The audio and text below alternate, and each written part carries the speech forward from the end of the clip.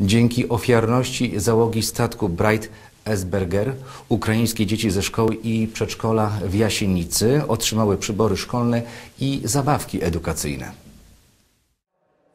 W szkole podstawowej numer 6 w Jasienicy w dwóch oddziałach przygotowawczych uczy się obecnie 26 dzieci z Ukrainy.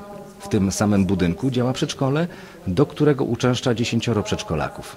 Przekazanie wyposażonych plecaków i gier edukacyjnych odbyło się 31 marca. W momencie, kiedy dzieci rozpoczęły naukę, okazało się, że nie mają potrzebnych przyborów i dzięki e, wielu ludziom udało się dzisiaj e, zorganizować tą uroczystość. W momencie, kiedy się dowiedziały, że będziemy mieli dzisiaj gości, e, niesamowicie się cieszyły i myślę, że no, efekt był widoczny, że zaraz otworzyły plecaki, wyciągały to, co dostały.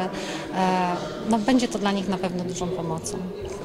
Wyposażone plecaki wręczył dzieciom kapitan statku Bright Esberger, który spośród prawie 40 statków zwyciężył jako najlepszy. Decyzją międzynarodowej załogi nagroda w wysokości 2,5 tysiąca euro została przeznaczona na pomoc dla dzieci z Ukrainy.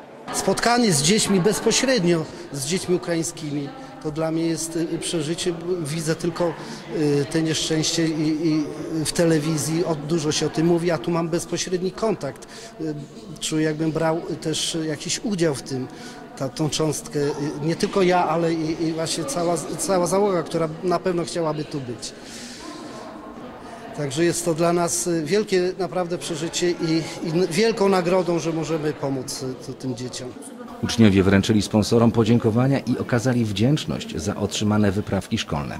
Uroczystość była możliwa dzięki zaangażowaniu i życzliwości Dominiki Dula, przedstawicielki firmy Selecta 7 i Tomasza Wojciechowskiego, dyrektora Esberger Crewing Services. W drugiej części spotkania sponsorzy przekazali przedszkolakom gry i zabawki edukacyjne.